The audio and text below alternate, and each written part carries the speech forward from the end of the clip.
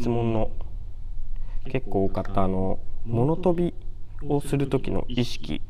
とかコツとかの解説をしていこうと思います。まずスタンスから。もう結構もうあの以前のねいろんな動画で言ってきてんでちょっとはしょって言いますけどビスとビスの間、まあ、このラインをビーってまっすぐ引いたところを蹴るこれの外じゃなくその中を蹴るようにする。で前足はつれてスリッとやります。それがオーリーなんで。でまあ気になる人はあの以前の動画をチェックしてもらえればなと思うんですけども。えっ、ー、とまあその質問でよく来るのは止まった状態だと飛べるようになったのに走るとできないとか走ってできるのに物を超えることができないっていう質問を結構いただいたのでまあ物飛びの時の、えーと、意識コツとかを説明していけたらなと思います。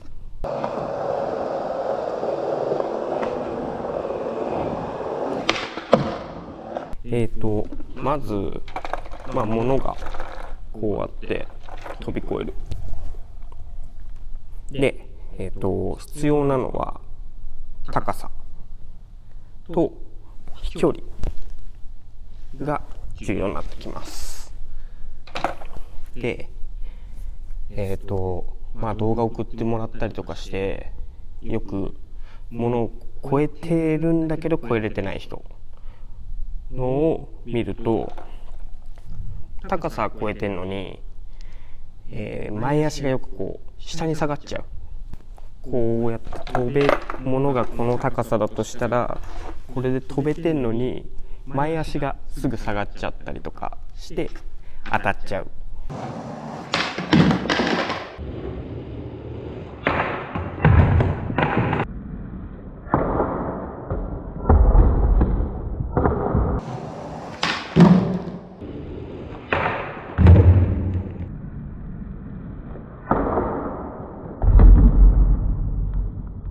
でもう一つ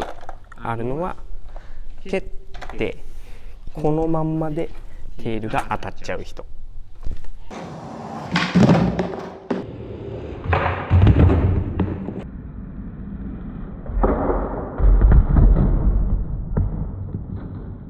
よく見られました。で、まあ、まずそれを改善するコツっていうのは、まあ、以前もあの動画で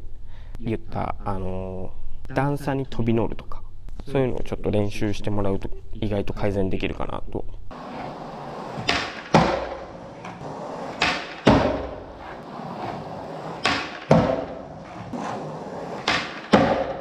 で走ってちょっとできるようになってきて飛び越えるって時に大体みんな高さは飛べてたりするんですけど滞空時間がなさすぎて飛べない人も多いなと思ってて。そういう人は大体こう足がすぐ伸びちゃう。着地しに行っちゃうから板が当たっちゃったり飛べなかったりっていうのがあるかなと僕は思います。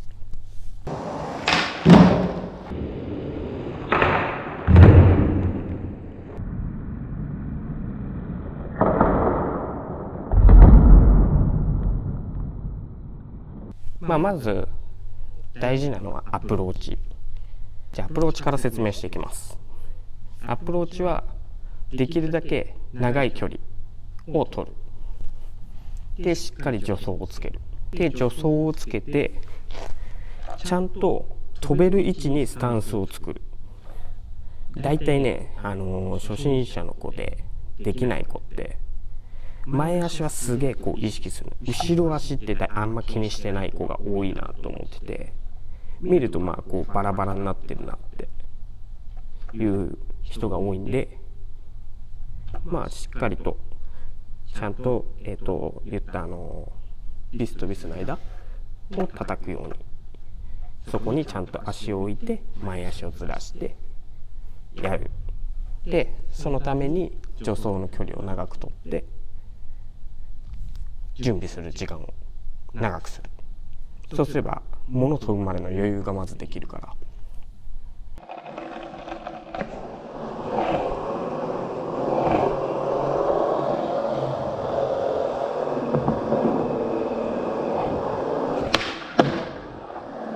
次に、まあ、物を飛び越えます物を飛び越える時に目線がアプローチ中は物で飛んでる時にずっと物を見ちゃう人がいる。そうすると足が伸びるのが俺早いのかなって思うんだよね。あとはこの物のすぐ裏側が着地だと思っちゃう人。で、まあ、簡単に言うと物があって山なりに飛ぶこういうイメージがベスト。なんだけどそういう失敗しちゃう人ってこっから伸びちゃってギュンっていう急降下しちゃう。その時に板がこう当たっちゃったりするのかなと思うのでこの滞空時間を想定してしっかり空中でその分耐えてあげる。そのイメージをするだけでも少しふわっという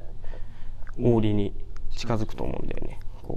重いオーリっていうかふわっとしてるオーリに。なのでちゃんと飛距離を想定して自分が着地するって思ってるところ一歩前ぐらいに四輪で着地するっていうイメージが大事かなと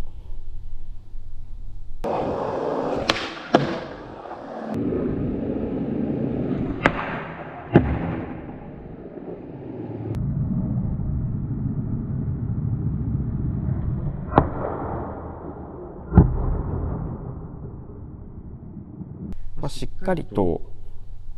そのアプローチの時にスタンスを作ってでちゃんとしゃがむ。そのしゃがむっつっても腰が折れたりしないように。よくねあんのが滑っちゃうと腰が折れちゃう人多くて。腰が折れると目線が低くなるからしゃがめてるって勘違いするんだけどそれ実際あんましゃがめてないししゃがんで飛んだとしても力がうまく使えなくて上にポンって飛べないんでしっかりと軸ちゃんとボードがあって自分の体があってでその中でしゃがむ。これが頭こうやって落ちると人間は頭重いから絶対つま先がかかるしそれがかかんないようにしっかりと軸を作ってボードの中にしゃがみ込んででボードの中で飛ぶ。このボードの中で。っていう意識をするといいかな。そうそれをするためにもしっかりアプローチ取ってスタンス作ってしゃがむ時間も作って飛んであげる。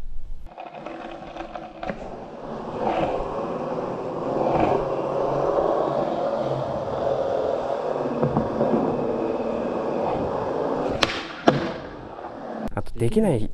て人で多いのはやたら焦って飛ぶ人スタンス作って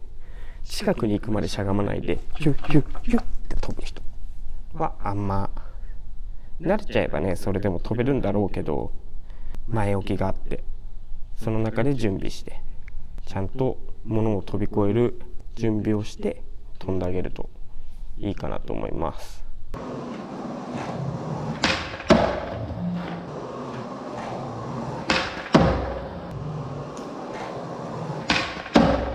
で飛ぶ時の目線はさっきも言った通り飛ぶ前まではこう物を見とく。で物を見てる時も物は物をグッてこうこれだけに焦点を合わすんじゃなく周りも全部ちゃんと見る。で物を見てこれを飛び越えるためにここで飛んだら当たっちゃうでしょ。じゃなくてじゃあこの辺だなっていうその場所を決めて飛ぶ。でポンって飛んだ時には物はあんま見ないもん。物じゃなくて着地に目線はいってる。それが物に行っちゃうとすぐ真下になっちゃうと思うから真下じゃなく前。その一歩前っていうか着地の位置だね。ちょっとね言葉で言うのは難しいんだけど動画を見てもらうと分かるけどここで飛んだらこの場所に着地するっていうのがあるんでそこをちょっと注意してやってみてもらえたらいいかな。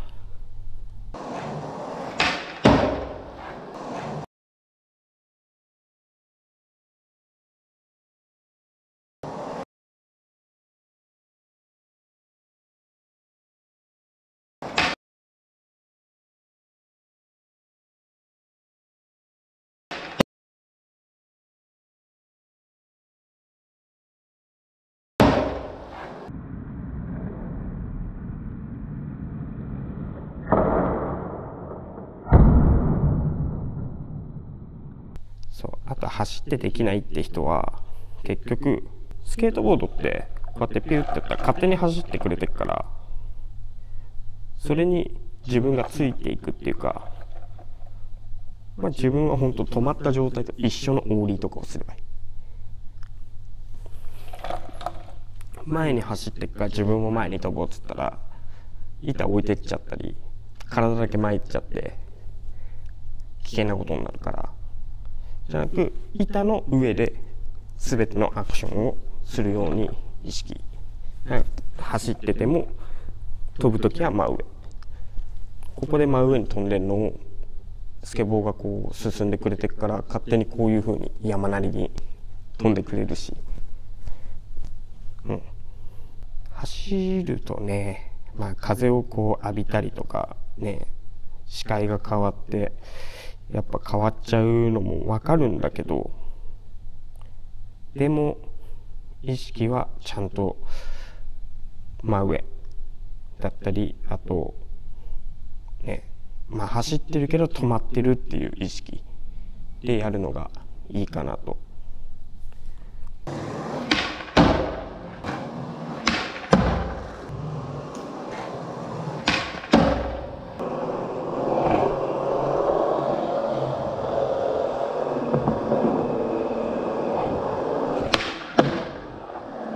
はもう何度も何度もやってみてもらってちょっとその感覚をつかんでもらうしかないんだけどこう個人個人に。まあやってすぐできるようなもんではないからあれだけど少しでもこれがねヒントになってちょっとできるようになりましたとかになったら嬉しいなと思います。頑張ってください。